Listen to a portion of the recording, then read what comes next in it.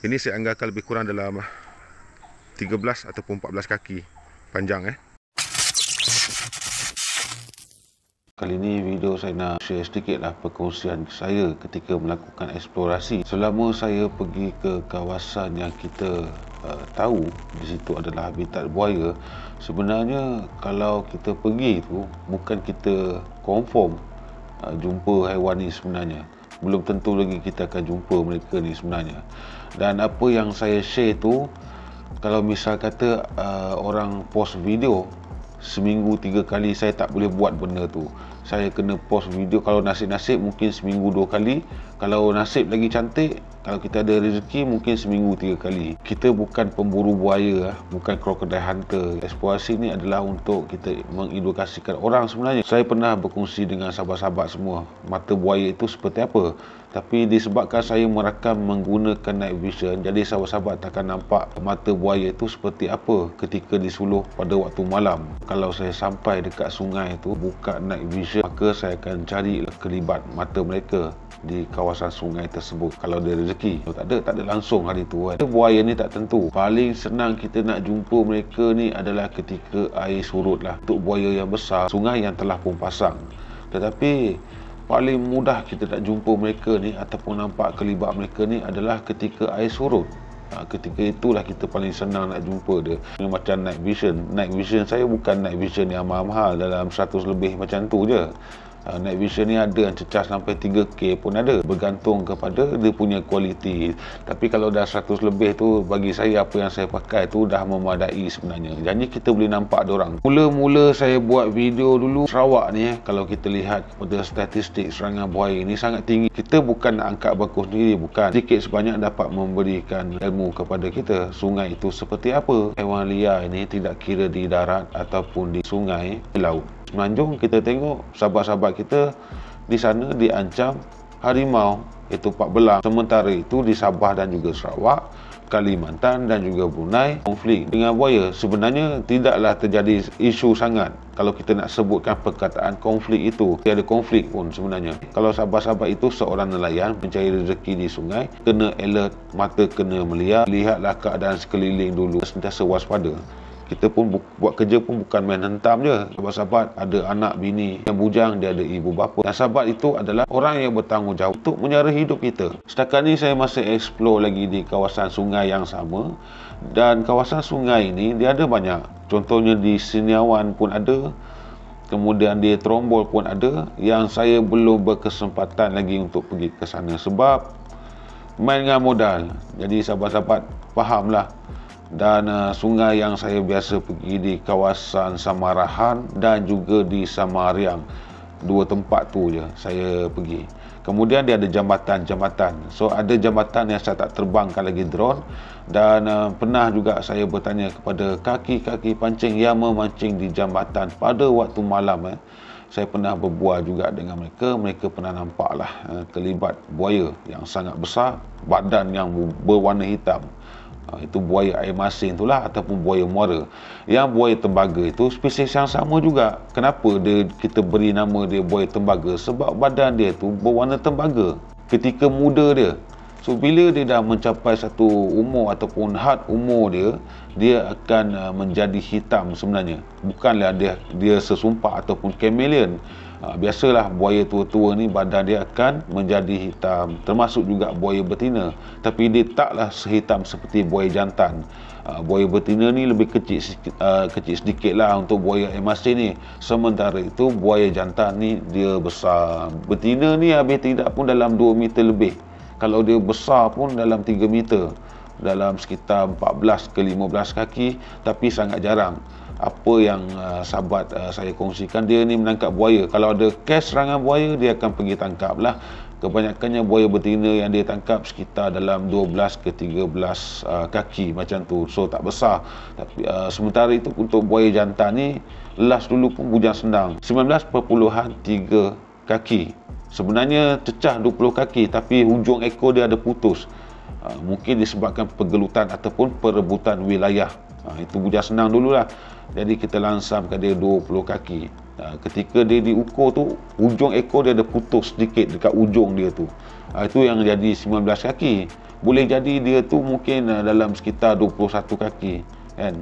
Kalau ekor dia tak putus dekat ujung tu. Bukan putus dekat tengah-tengah tu ataupun di pangkal dia tu. Bukan. Untuk buaya jantan uh, yang betina saya dah sebut tadi untuk buaya jantan ni yang tadi tu last paling latest panjang tu bujang senang buaya yang digelar sebagai bujang senang tetapi bukan bujang senang dia ada cerita dia lah so kita tak nak cerita yang bab-bab yang tu nanti dia akan jadi cerita kartun ataupun cerita yang sangat mengarut lah eh. mana yang tahu dia tahu bujang senang itu seperti apa uh, untuk buaya jantan kebiasaannya member saya tangkap dalam sekitar 15 ke 16 kaki macam tu. Ataupun uh, 14 kaki lebih macam tu. So tak cecah sampai 17 kaki. Belum pernah lagi dia tangkap uh, buaya sepanjang 17 kaki. Habis tidak pun dalam 15 paling panjang 16 kaki macam tu lah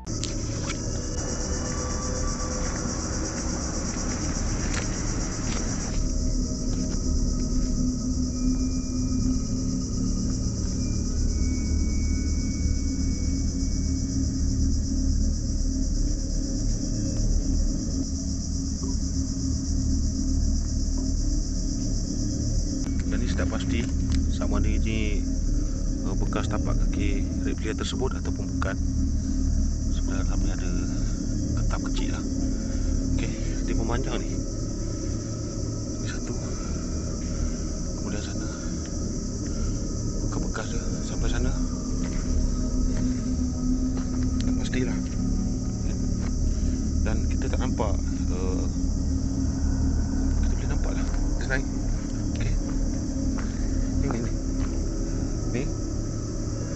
palu ni. Panjang dia pergi ke sana okay. so dia berhak kat sini ni. Sampai sini.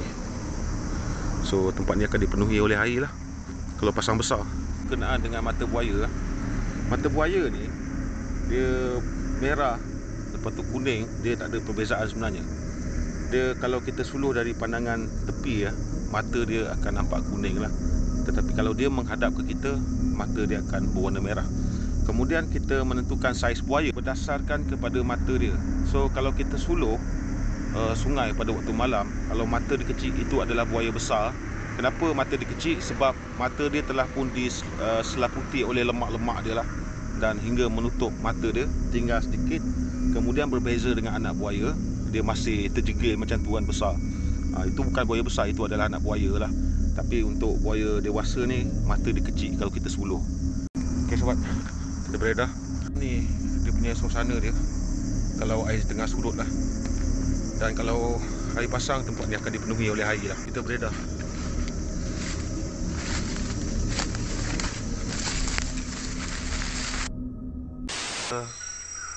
Buat pemerhatian kan So untuk kita tahu dia adalah buaya jantan ataupun buaya betina tu dekat telinga dia. Sebab yang betina dia, dia punya telinga dia tu tak berapa tinggi tau. Untuk yang jantan, dia punya telinga tu agak tinggi. Saya cuba zoom eh bagi sahabat-sahabat tengok. Oh, sebagai satu pelajaran yang baru kepada kita lah telinga dia. Dia agak tinggi. Nanti saya tunjuk yang betina dia. Yang betina ada dalam air tu. Tapi kita akan pergi dekat sangkar yang sebelah tu nanti saya akan tunjukkan kepada sahabat uh, betina dia seperti apa. Uh, ini adalah jantan eh. Tengok telinga dia. Ada agak loncong sikit agak tajam. Okey, yang ini adalah betina. Uh, ada perbezaan uh, di telinga mereka lah. Yang ni dia agak bulat. Uh, kalau yang jantan tu dia seakan-akan tanduk. Uh, dia agak tinggi sedikit lah. Uh, ini betina dia. Kita zoom lagi. Okey. Ha, itulah cara untuk kita membezakan buaya betina dan juga buaya jantan. Ha, selain daripada itu, kita boleh guna metod apa ni dari segi saiz lah. Ya, sebab buaya betina ni tak dia tak berapa besar sangat. Ini saya anggarkan lebih kurang dalam 13 ataupun 14 kaki panjang eh. Yang jantan ni dia lebih uh, boleh membesar ataupun panjang sekitar dalam 16 ke 17 kaki macam tu. Eh sahabat, macam mana saya buat bunyi anak buaya tadi tu?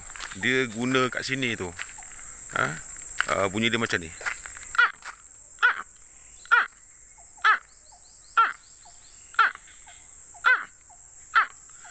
Jadi sahabat-sahabat, mana yang tahu tiru tu jangan buat dah kalau kaki pancing tu.